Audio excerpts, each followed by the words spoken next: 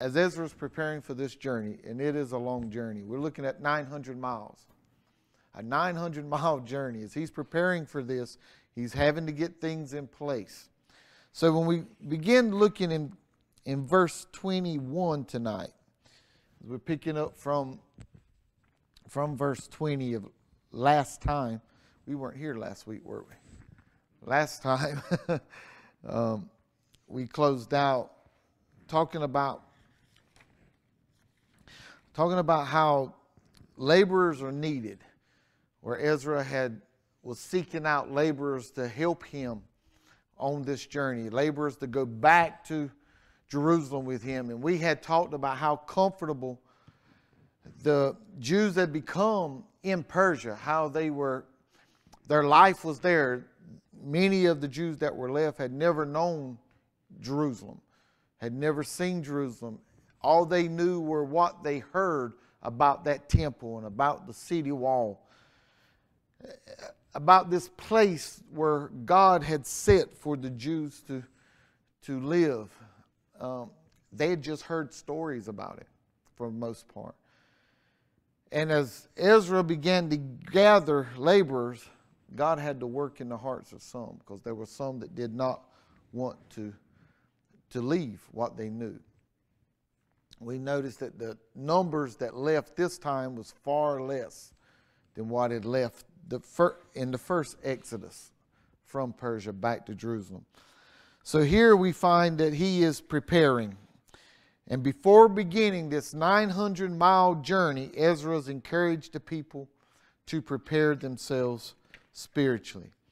So, what Ezra does is he challenges them he challenges them to seek the Lord in prayer and fasting, as we see this in, in verses uh, 21 through 23. Let's look in these verses. The Bible says, Then I proclaimed the fast there at the river of Ahava, that we might humble ourselves before our God to seek from Him the right way for us and our little ones and all our possessions.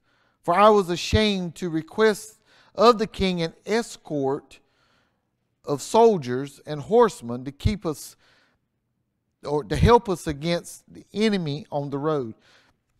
Excuse me, because we had spoken to the king, saying, The, the hand of our God is upon all those for good who seek him, but his power and his wrath are against all those who forsake him.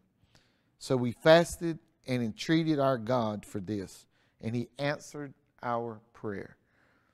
So here we see that, that as he's challenging them for prayer and fasting, there, there are three urgent reasons why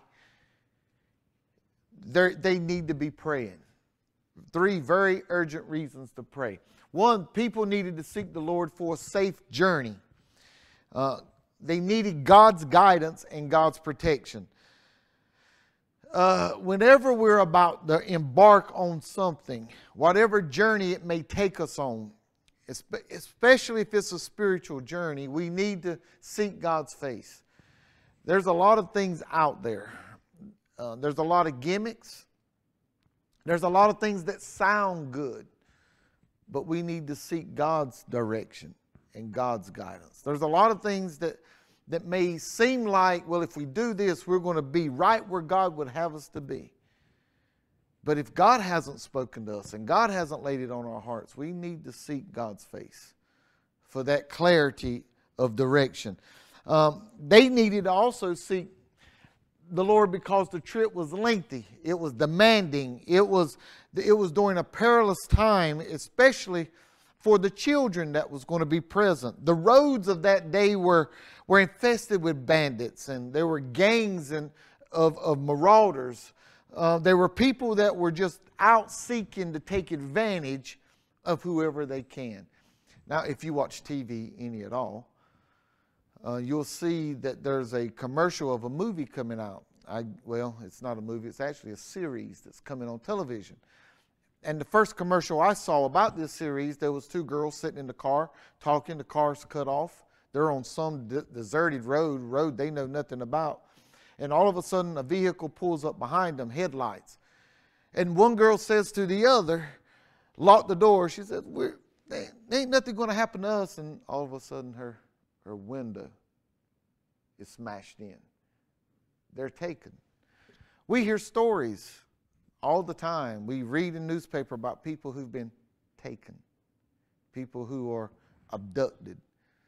Um, there are people out there who are lurking with the intention of harming others, hoping that they're going to gain something from it. And this is what they were facing. Talking about a 900 mile trek and bandits everywhere. They needed God with them. They needed God to be there, passing through territory with all sorts of folks who hated Jews. And the Jews were easy to distinguish. They were easy to, to point out in that day among the people. They didn't just have to hear the last name and know, well, they're Jewish descent. They could look at their features. Y'all know that, that these pictures people paint of Jesus isn't exactly what Jesus would look like if he was a Palestinian Jew. if he was a Palestinian Jew, he wouldn't look like the fair haired, white, uh, blue eyed uh, version that we see often. He would look like the typical Jewish man. And, and so they needed prayer. They needed to be seeking God through prayer and fasting for God's help while they were on this journey. Also, the people needed to seek the Lord because Ezra felt uneasy about asking the king for an escort, a military escort. Now, they needed one. It seems like at this point, Ezra realizes they could be they, would do well with a military escort from Persia to Jerusalem. But he had done something that pretty well kept him from being able to do this. He had persuaded the king that God's hand was on them. And because God's hand was on them, they were protected. And anybody that would come up to harm them, they would fall into God's wrath. Well,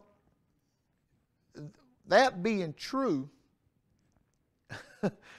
we best be careful some things that we say, hadn't we?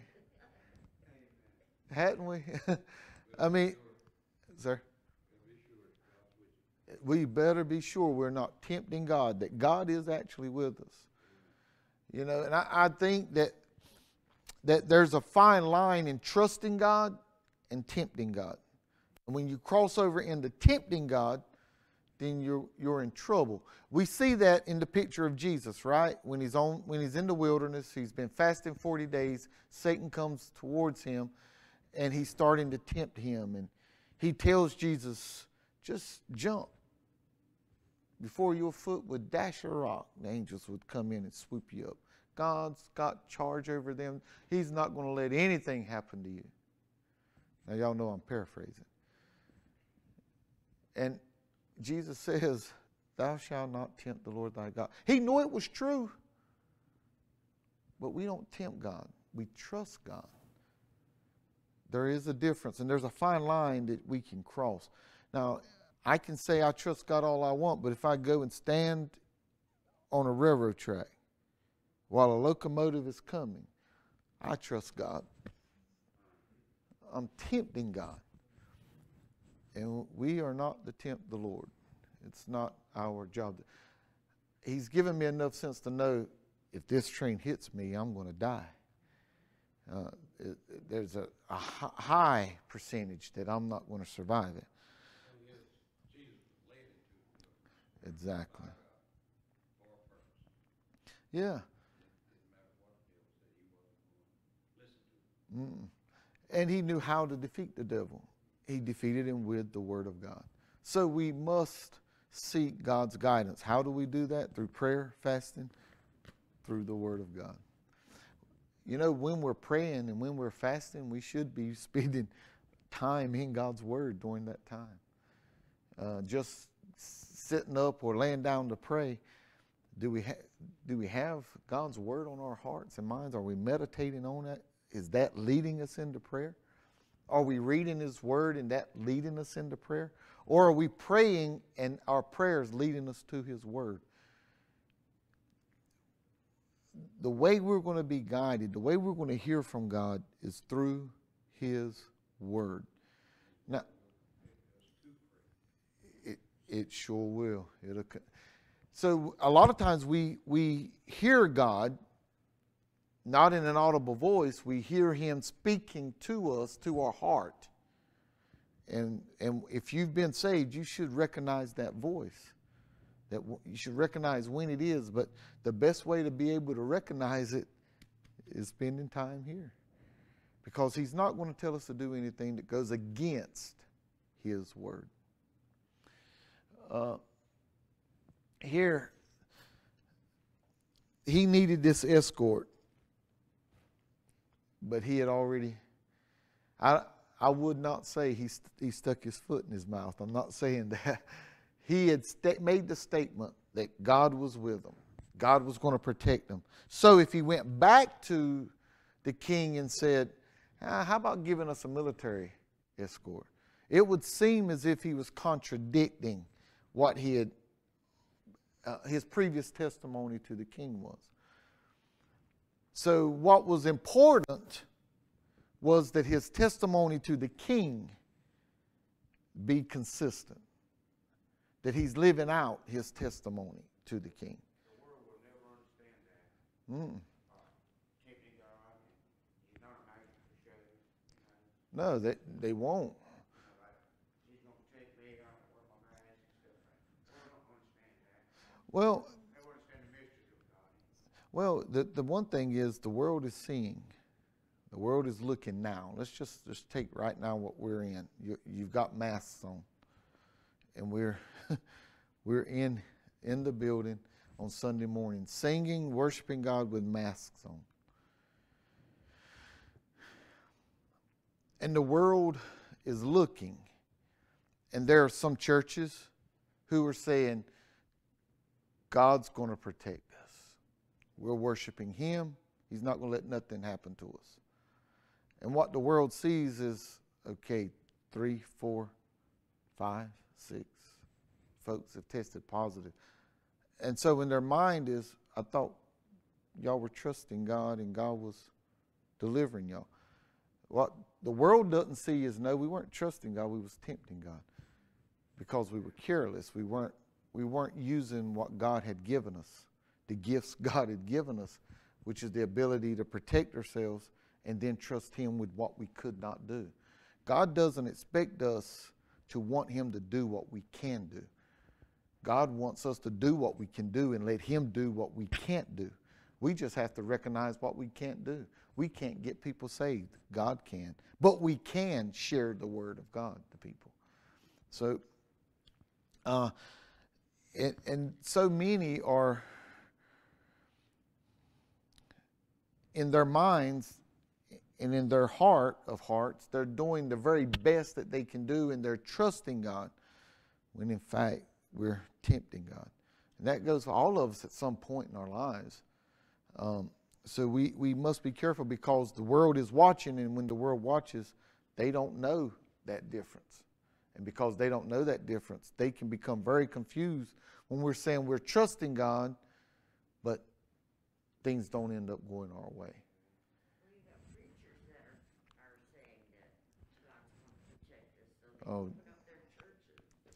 Yeah, uh, yeah, that's what I'm talking about. They're just they're, they're they're looking at it in a different way.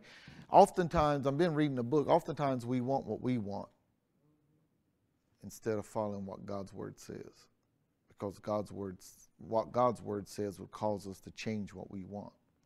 I told you I preached about five years from now, probably, the church will have a bit of, a bit of respect. The way things are going, you know, like the Pope, and his stance for, you know, same-sex marriage and such, and then, you know, a lot of things that's going on now. Yeah, the world's not going to have the respect, but the church will. And I think when the world starts to see the church be the church that the Bible describes, then you'll see more of the world respecting the church. When we're trying to mix the world into the church, the world's not going to respect it.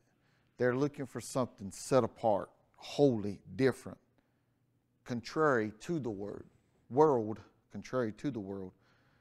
And when they're not seeing it, they're not buying it. Uh, they're not buying that it even exists.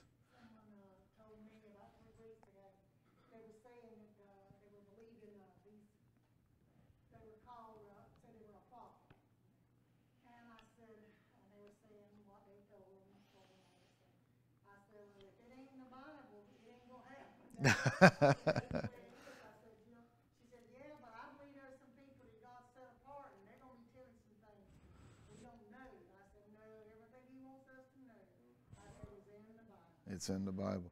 He can send people to affirm some things, but it's got to be supported by His Word. His Word is His revelation to us at this time. I, I believe that with all my heart.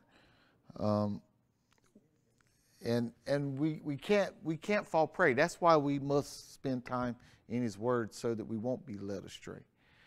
So Ezra is now questioning. The question arises. We've been talking about this. The question arises about trusting God. Nehemiah, he requested the governor to send an army with him when he went back.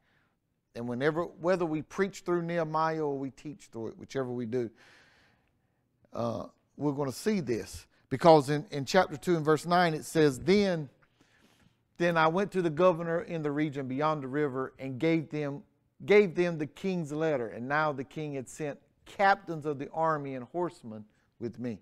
So he had a he had a military escort when he was leaving Persia to go to Jerusalem. Uh, the apostle Paul he requested the Romans to protect him on his journey uh, from Jerusalem to Caesarea.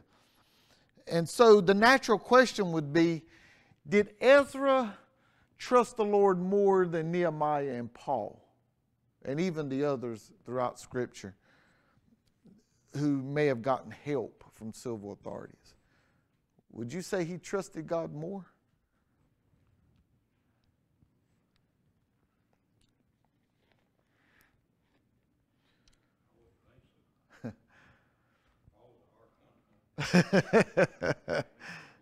and uh, it's hard to find it.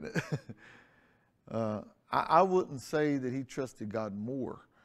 Uh, when we really look at this, when we look at it for what it's worth, we we got to keep in mind God's purpose for us is to draw us closer to Him.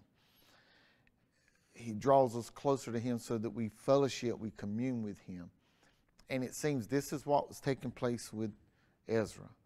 Ezra had made this statement to the king, and now he's having to stand on the statement that he made.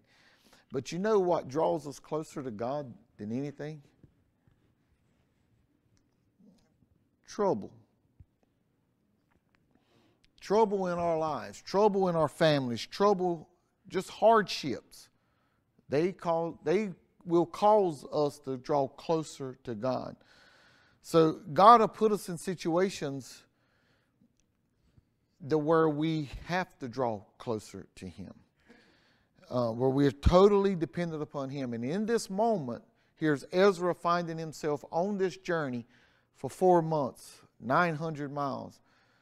He's totally dependent upon God. He can't depend on an army to protect him. The people he's got with him are vulnerable. So he's got to fully depend upon God. We say a lot of things from here. We say a lot of things from here in Sunday school classes. And if we're not careful, God's going to put us in a situation to where we have to stand on the very things that we say. And it seems that's what was taking place. Um, did he uh, well, if, you, if we say this, we could ask the question why didn't that happen with Paul? Why didn't that happen with Nehemiah? Why didn't that happen with others? Well, God had other ways to get them in, in a situation where they were solely dependent upon Him. How often wasn't Paul locked up, chained up? He was shipwrecked. He was bitten by a serpent. He was stoned and left to die. Saul's whole life after his conversion was a complete dependence upon God. He chartered out in un, unknown territories just to share the gospel. And he did it with him and one other. You know, it, it was so we, we find that God has a way to put us in, in a troubled time solely to draw us closer to Him. And that's what I'm learning to share with folks that are going through heartache or going through um, sickness is to look for God on this journey. Look for God while you're on this journey. If, if you're diagnosed with cancer, don't, I, the, the, it's the hardest thing really to hear, or one of the hardest things, it's not the hardest, it's one of the hardest things to hear is that you have cancer. But God's putting you on this journey for a purpose. Don't we, we can't forget that. We can't make light of, of how life changing this can be, but God's putting us on a journey for a specific purpose to draw closer to Him. And anything we go through that God brings us out of, it's not for us to just sit back and meditate on and just say, well, God brought me through this, but it's for us to help somebody else and to be able to share the journey with them so that they'll be encouraged through that journey. It- Exactly. exactly. We're gonna have trials and tribulations, which makes us have stronger faith.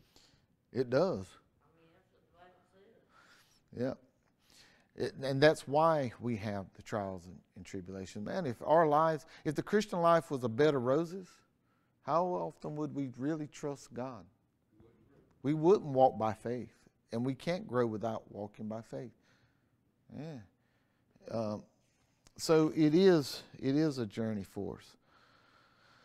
So, in response to Ezra's request for them to, for the people to fast and pray, they did just that. They fasted and they prayed. Their prayer was answered. The Lord protected them, and the returned exiles, He returned the exiles safely to the promised land. As believers, we should begin every task with prayer. Prayer should be the very first step we take in our tasks. Uh, if the task is large enough and significant enough, both fasting and prayer should, should precede the task. Jeremiah, well, if we're concerned enough to pray and fast, God will hear and answer. No matter what our need is, if we turn to the Lord, He will protect and He will provide. Uh, God will never leave us alone to face any hardships and sufferings on our own in this life. Jeremiah 33 and 3 says, Call to me, and I will answer you and show you great and mighty things which you do not know. He says, Call to me. If we want to see great and mighty things, we got to spend time with Him. Um, yes.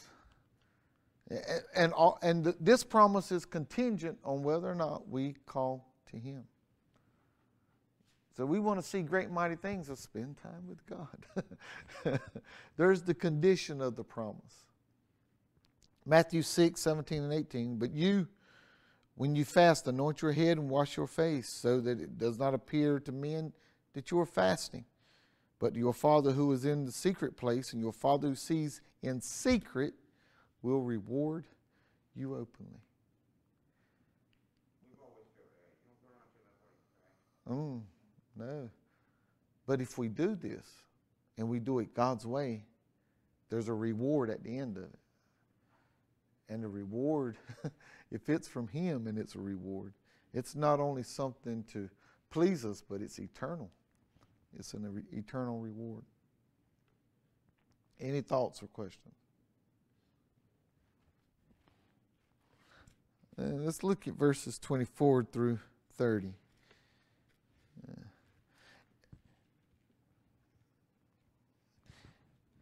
so Ezra, he says, And I separated 12 of the leaders of the priests, Sherebiah and Hashabiah, and 10 of their brethren with them, and weighed out to them the silver and gold – and the articles of offering for the house of our God, which the king and his counselors and his princes and all Israel who were present had offered. I weighed into uh, their hand 650 talents of silver. Silver articles weighing 100 talents, 100 talents of gold. 20 gold basins worth a thousand drachmas and two vessels of fine polished bronze, precious as gold. And I said to them, You are holy to God. The articles are holy also, and the silver and the gold are a freewill offering to the Lord God of your fathers. Watch and keep them until you weigh them before you before the leaders of the priests and the Levites and the heads of the fathers' houses of Israel in Jerusalem. In the chambers of the house of the Lord, so the priests and the Levites received the silver and gold, the silver and the gold, and the articles by weight to bring them to Jerusalem and to the house of our God. Now, I just saw something in there while reading that that I didn't see earlier today. Uh, Ezra saw a need here to guard the treasure that had been entrusted to get safely to Jerusalem. So he delegated the responsibility for this treasure to two leading priests, Sherebiah and Hashabiah. These two priests, they appointed 10 other priests to serve along with them. After their appointment, Ezra weighed, counted, and recorded the donated treasure. Now that's after they were appointed, right? he divides it up to them. This is a huge amount of wealth that's been taken to the temple in Jerusalem. Ezra, he weighed all,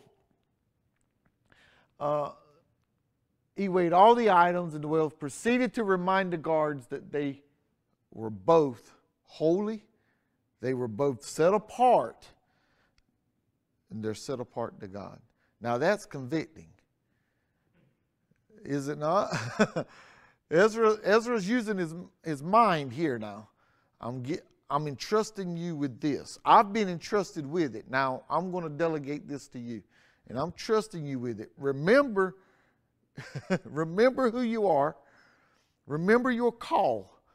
You've been set apart. You are holy, just as these articles are, just as this silver and gold is set apart and holy for God, so are you.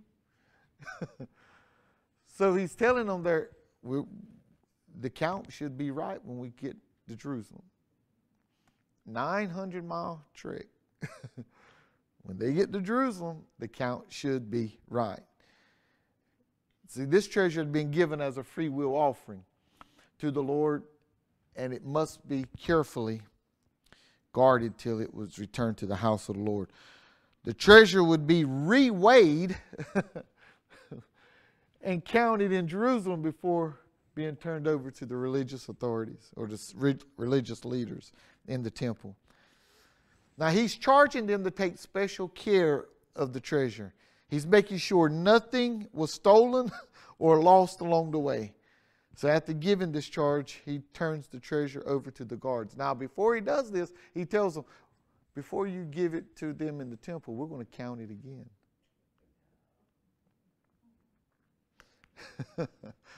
they're set apart. They're holy unto God, but they were human. And Ezra didn't forget that. What a man has done, any and every man is subject to do the same.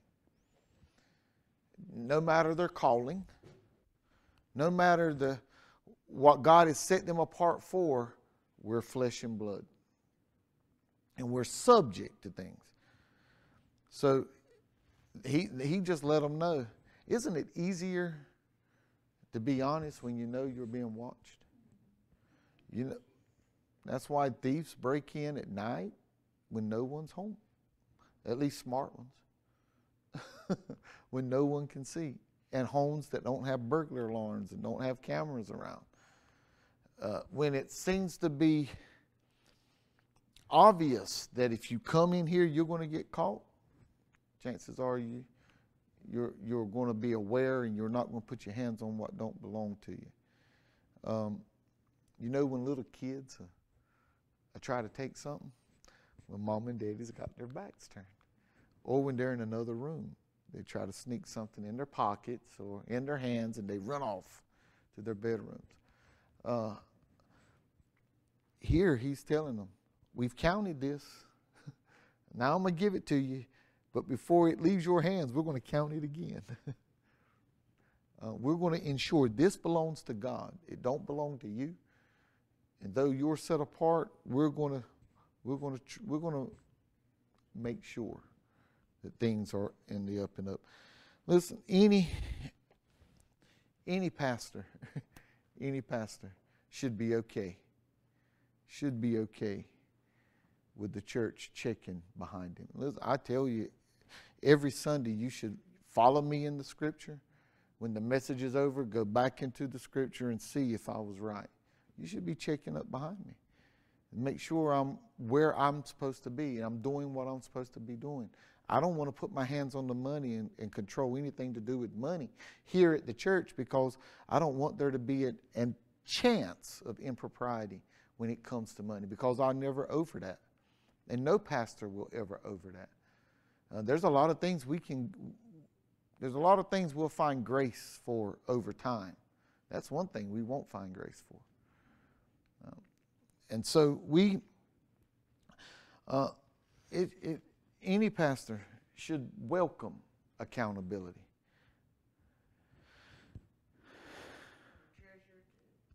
Huh? They should. But every treasurer won't like it. Because every church member don't like being held accountable, do we? Oh, the hardest thing for a Baptist pastor to do, what is it? Hold those in leadership accountable. Because the first thing they're going to throw up in the, in the face is, we're volunteering. I ain't got to do this. Ah.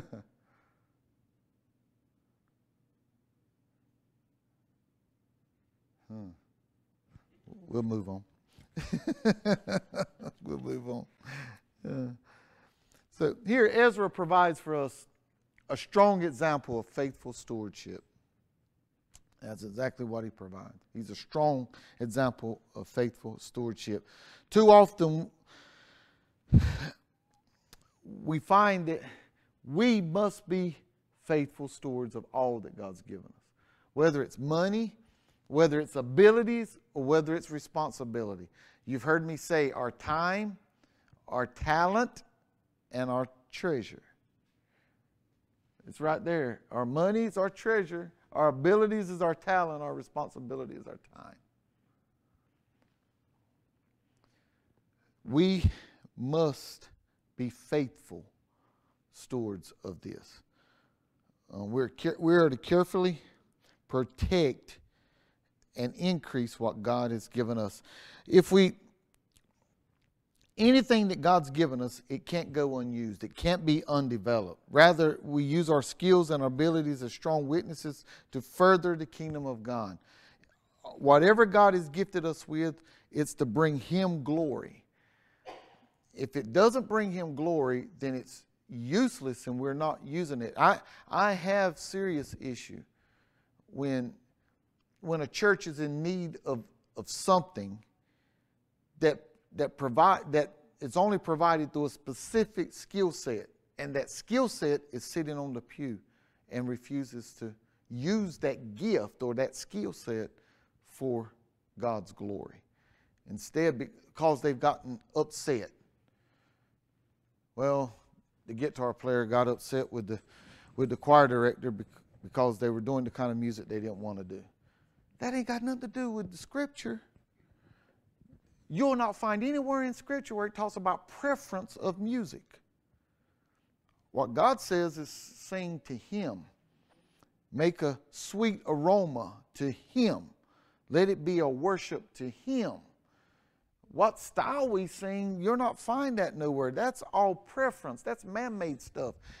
And to sit back with the gift of playing and saying, I'm not doing it because I didn't get my way. You know, truth is, most divisions within the church has nothing to do with biblical matters. It's pride. It's pride. It's lust of the eyes, lust of the flesh, and the pride of life, and has nothing to do. We'll get upset over not getting our way, but we won't get upset that, that we're breaking God's command.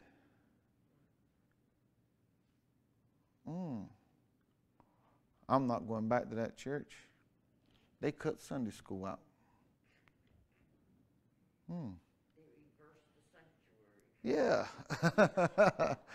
yeah, that's uh, there there's people will say that, but nobody gets upset when no one's taking care of the sick and the shut in, the widows and the orphans.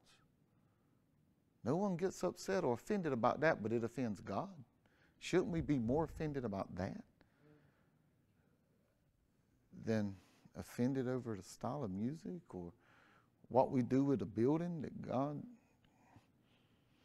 God doesn't need? He's shown us He doesn't need the building here this year, hasn't He? Um,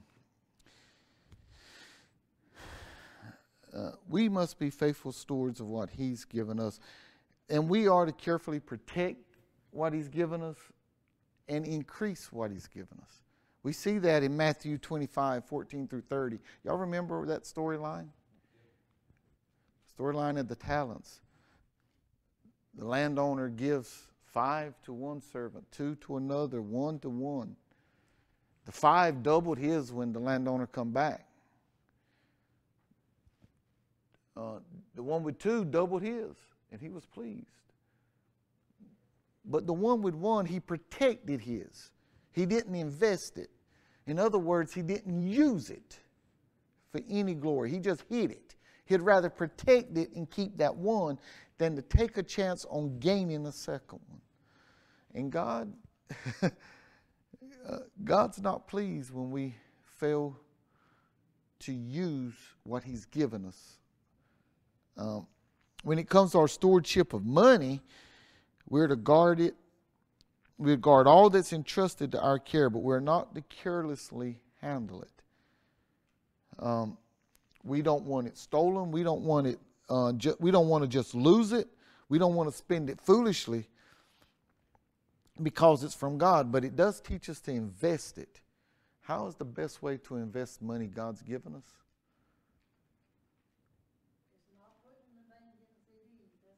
Ah. The best way to invest it is to, in people. Who are we to love? People. Love one another.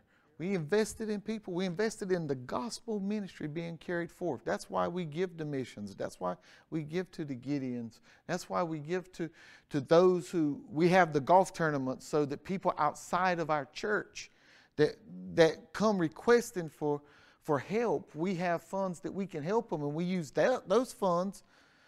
I hope that's what we're using those funds for because that those funds are coming in from outside the church, and we should take care of our church within our church.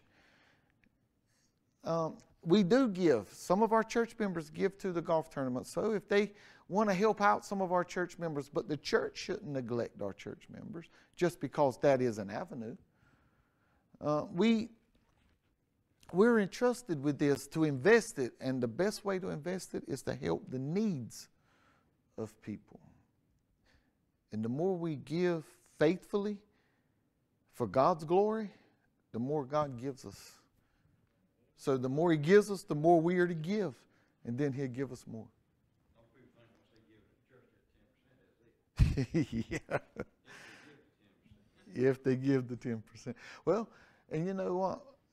We, we tend to feel like we have the opportunity and the privilege to say what happens to it. in a conversation recently. A person said, Well, I asked if they were still going to their church. And they said, No. There's always excuses why people don't go to, to their church. And, uh, and she said, But I take my tithe and I don't spend it. I set it in the side compartment here my pocketbook and I give it to people that are in need. I said, Really? That's interesting. That's all I said. It's her business. It's between her and God, right? But she's just disobeying God's word. She's stealing from God and, and taking glory for it because God says, take it to the storehouse. Well, you know, sometimes they just won't use it the way it needs to be used. That ain't yours to worry over. Yeah. You know, you know what I, and here's what God spoke to my heart and said. I never really put this together. I, I, I should have. I was ashamed of myself, but it really spoke to me to help me see this. That He asks us, or He commands us to give 10%. We get to keep 90% of what He's given us because we couldn't have anything without Him. He's just saying, Give me 10% of it back. Now we've got 90% that we can take part of that to help somebody in need. but we won't because we want that 90% for what we want. We're okay with, with giving them the 10% that belongs to God, but the 90% that belongs to us, that's mine, and I want this. And I'm not waiting an extra month because I've been waiting six months saving up for this. that's, uh, uh, but God is He's doing this not because he needs our money. God don't need nothing from us. We need everything from him. But what he is doing is helping us see our faith. He's helping us to see. He knows our faith. He's helping us to see whether we're, we're faithful or not. Nothing comes as a surprise to God. It may, it may shock the life out of us, but it don't come as a surprise to him. Ephesians 4 and 28 says, Let him who still, still no longer, but rather let him labor, working with his hands what is good, that he may have something to give who has need. So if we use our, our talents and our time and our treasures for his glory, then we'll have everything that we need. We're responsible with what we're entrusted with giving a strong witness of diligence in serving the Lord. Colossians 3 and 23 says, Whatever you do, do it heartily as unto the Lord and not to man. So, after the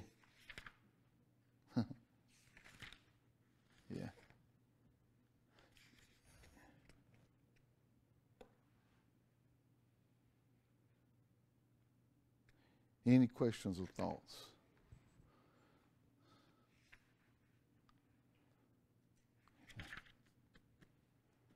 Any questions or thoughts? We're going to stop there. We'll get these. We have to give it. Exactly. Uh, you're exactly right. If we're dreading and it's breaking our heart that we're having to to obey the Lord, well, He's not getting any glory out of it. Yeah. uh, there, there's uh, God loves a cheerful giver. And it takes God to help us to be cheerful. It takes Him really pouring into our lives. It takes Him directing our path, which means we're spending time with Him and we're being obedient to Him.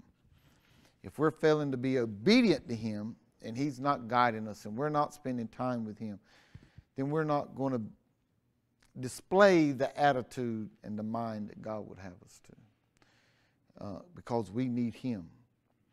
Now, when I got saved, I got every bit of the Holy Spirit that I'm going to ever need to get to heaven. But I can draw closer to God along this journey on earth. I know the Holy Spirit's in me, so I can't get no closer than that. When we say this, we're saying that we're getting more of Him and less of us is shining in our lives.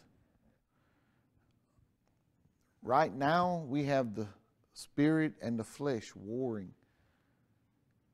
Who are we going to feed the most? If we feed the flesh, the flesh is going to win. If we feed the spirit, the spirit's going to win. And when the world begins to see more of Christ and less of us, then we begin to have a true kingdom impact on this world. And that should be the impact that we're wanting to have a kingdom impact. I don't want to be known for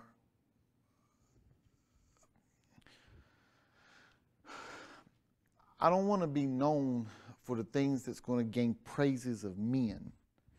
I want to be known for things that's going to give glory to God. And I think that's the way we're all supposed to live our lives.